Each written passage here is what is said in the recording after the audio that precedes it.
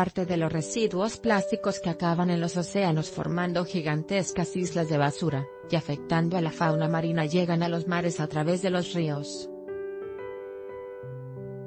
En la ciudad de Rotterdam, Países Bajos, se han propuesto poner su granito de arena, en este caso de plástico, para combatir este problema de una manera inédita instalando en el río Nuevo Mosa un parque flotante conformado por plataformas fabricadas con plástico reciclado recogido de ese importante curso fluvial, como principal material.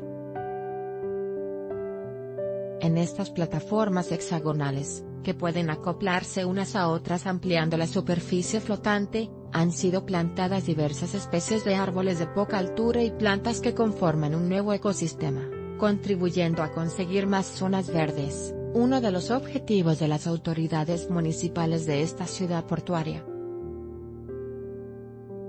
Zona verde sobre agua azul El Nuevo Mosa es un importante río europeo que lleva la contaminación desde el interior continental hasta el mar, mientras los plásticos vertidos en su cauce son relativamente nuevos y, por lo tanto, tienen un buen potencial de ser reciclados. El denominado Recycle Park, Parque Reciclado, ORP está destinado a recuperar los desechos plásticos del río justo antes de que sus aguas desemboquen en el Mar del Norte. Los primeros 140 metros cuadrados del primer parque, que según sus creadores está en crecimiento, fueron abiertos al público en julio de 2018. Es una iniciativa de la firma de arquitectos Subim, y de la Fundación Recycled Island en colaboración con el Ayuntamiento de Rotterdam, y la compañía de equipamiento Evo Maritime Service. La Universidad de Wageningen ha desarrollado la mejor técnica para quitar los desechos de las aguas mientras que Evo ha aportado su experiencia en las tareas de limpieza de basura flotante del puerto de Rotterdam. Los residuos son recuperados en las zonas de los embarcaderos del río por medio del trabajo de equipos de voluntarios o pescadores de plásticos, e-plastic en neerlandés, a bordo de botes inflables y mediante una serie de barcazas de recolección pasiva donde quedan atrapados para posteriormente ser reciclados, y reutilizados en la fabricación de las plataformas flotantes. De todos los residuos de plástico recuperados por estas trampas pasivas de basura, el 98% se encontraba a tan solo un metro de profundidad y en su mayor parte eran envoltorios, papel de aluminio, botellas, latas, botes de spray y bolsas, informan desde Holland, la guía oficial para visitar Holanda.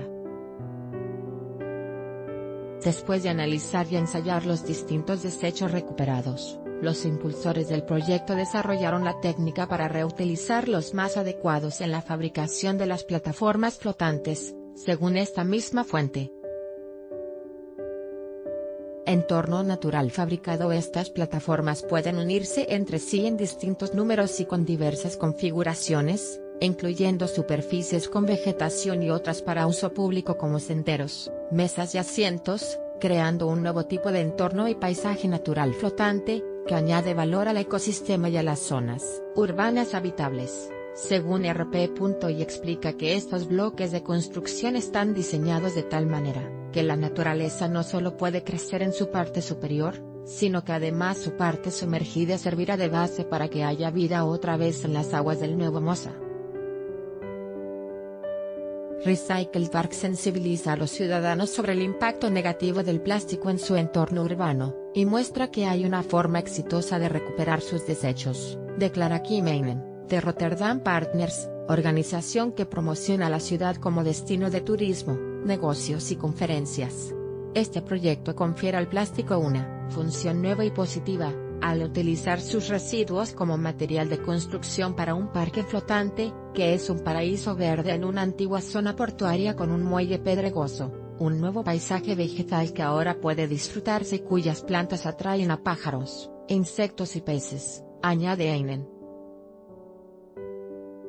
El fondo de las plataformas tiene un acabado rugoso donde las plantas acuáticas, algas y raíces silvestres disponen de suficiente superficie para crecer, proporcionando a los peces un lugar para depositar sus huevos, y sirviendo de refugio y alimento para los organismos que viven en el agua, de acuerdo a RP y. Durante la puesta a punto del prototipo inaugurado, también se pudo comprobar cómo los patos, y otras aves acuáticas ocupaban las tierras con vegetación de las plataformas, demostrando su potencial de convertirse en un nuevo hábitat para los seres vivos. De acuerdo a RP. Con este primer parque flotante, se está respondiendo localmente a un problema global, como es la contaminación plástica mundial de nuestros océanos, mares, ríos y costas, y a partir de este primer prototipo el objetivo consiste en mejorar el sistema y ampliarlo, y aplicar este concepto en otras ciudades después de Rotterdam, informa Recycle Park. 共